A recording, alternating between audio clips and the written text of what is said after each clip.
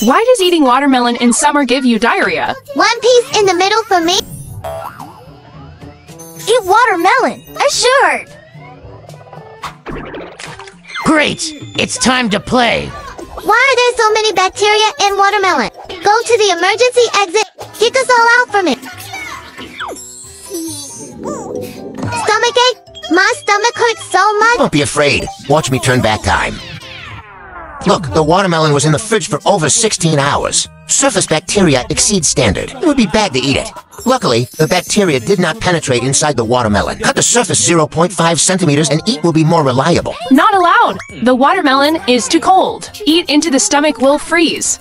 The human body has a constant temperature system. Eat some iced watermelon. When it goes down to the stomach, the temperature is still 36.5 degrees. For the joy of summer iced watermelon. We consume more than 60 million tons of watermelon every year. Remember, everyone, open the melon and eat it as soon as possible. This is the Garden of Knowledge. Don't forget to like and share to spread the word.